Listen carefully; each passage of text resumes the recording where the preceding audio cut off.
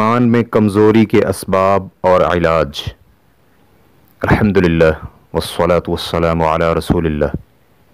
सवाल किया गया है, अगर कोई शख्स पहले मुतकी परहेज़गार था, लेकिन बाद में उसका ईमान इतना कमज़ोर हो गया कि कुरान मजीद की तिलावत भी नहीं कर सकता तो उसके लिए बेहतरीन हल क्या हो सकता है? रहनुमाई फरमा दें। अलजवाब वहाब। ईमान में कमज़ोरी पैदा होने के चंद इसबाब हैं। लिहाजा इलाज से पहले उन इसबाब को पहचानना अजहद ज़रूरी है, क्योंकि उन इसबाब के मुतल जानकारी भी ईमान में कमज़ोरी के इलाज में शामिल है। उन इसबाब में से कुछ ये हैं, अल्लाह रब्बुल्ज़त के साथ ताल्लुक़ कमज़ोर हो जाए, इंसान इतात और इबादत में सुस्ती का शिकार हो जाए, नेकी के लिए कमज़ोर हिम्मत अफराद की सोहबत इख्तियार करे दुनिया में मगन होकर आखिरत भूल जाए। ये हकीकत जहन से ओझल हो जाए कि ये दुनिया फ़ानी है। इसी तरह अल्लाह ताला से मुलाकात की तैयारी में कमज़ोरी आ जाए तो इन चीज़ों से ईमान में कमज़ोरी पैदा हो जाती है। इतात और बंदगी की राह में पैदा होने वाले फतूर और कहली का इलाज मुतद तरीक़ों से मुमकिन है, जिनमें से चंद एक आपके गोश गुजार किए जाते हैं। नंबर एक अल्लाह ताला के साथ ताल्लुक़ मज़बूत बनाए। इसके लिए तदब्बर और गौर व फ़िक्र के साथ कुरान मजीद की तिलावत करे। अल्लाह ताला की आज़मत, कुरान मजीद की आज़मत से कशीद करे। अल्लाह रब्बुल्ज़त के अज़ीम असमा सिफ़ात और अफ़ाल के मुतल गौर फ़िक्र करे। नंबर दो, कसरत के साथ नवाफिल की पाबंदी करे। चाहे नवाफिल की तादाद मामूली ही क्यों ना हो। मुसलमान आम तौर पर सुस्ती और काहली का उस वक़्त शिकार हो जाता है जब इब्तदा में बहुत ज़्यादा इबादत करे और बाद में उस पर कायम न रह सके। नबी सलाम का ये तरीक़ाकार नहीं था।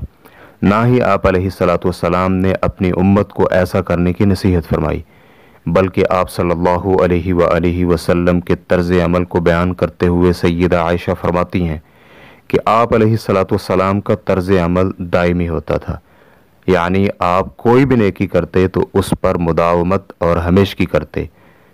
नीज़ नबी सलाम का फरमान भी मौजूद है कि अल्लाह रब्बुल के यहाँ महबूब तरीन अमाल में से वो हैं जो दायमी किए जाएँ चाहे मामूली ही क्यों ना हो। लिहाजा अगर कोई मुसलमान ये चाहता है कि वो सुस्ती और काहली का शिकार न हो और ईमान में कमज़ोरी न आए तो वो अमल मामूली ही बेशक कर ले लेकिन हमेशा करता रहे। क्योंकि तसलसल के साथ थोड़ा अमल गैर तसलसल के ज़्यादा अमल से बेहतर है। नंबर तीन। नेकी के मामले में चाको चौबंद अफराद को दोस्त बनाए, क्योंकि नेकी पर फरेफ्ता होने वाले अफराद की वजह से आप में भी जज्बा पैदा होगा, जबकि सुस्ती और काहली के शिकार अफराद को ऐसे लोगों की सोहबत अच्छी नहीं लगती। इसलिए आप ऐसे दोस्तों को तलाश करें जिनके अहदाफ बुलंद हैं। वो हसूल आलम, कुरान हदीस याद करने और दावत अल्लाह के लिए हमतन मसरूफ़ रहते हैं। ऐसे दोस्त आपको नेकी की तरफ़ रागब करेंगे और आपको खैर की बात बतलाएँगे। नंबर चार, आप मशहूर मुस्लिम हस्तियों के हालात ज़िंदगी पढ़ें ताकि राह इलाही के आला राह रो आपके सामने हों और आप उनके नक्श कदम पर चलें। इसके लिए अरबी कुतुब में से आप हिम्मा शेख मोहम्मद बिन इसमाइल अलमुक़दम और इसी तरह शेख सैयद अफ़ानी की किताब सलाहुलम्मत फ़ी हिम्मती का मताल करें। नंबर पाँच। हम आपको दुआ की खसूसी ताकीद करते हैं खसूस रात के आखिरी हिस्से में अल्लाह रब्ज़त से दुआ करें क्योंकि उससे मांगने वाला कभी नाकाम या नामुराद नहीं होता।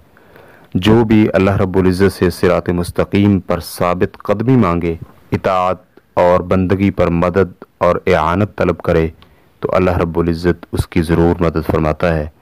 हम भी अल्लाह रब्ज़त से दुआ गो हैं कि आपको अपनी रज़ा के काम करने की तोफ़ी से नवाजे, आपको बेहतरीन अखलाक, आमाल और ज़ुबानी इबादत की तोफ़ी अता फ़रमाए।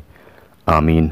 वल्लाह तालम इस्लाम की ए रिकॉर्डिंग्स मुअससतुशेख सालेह अलमुनजिद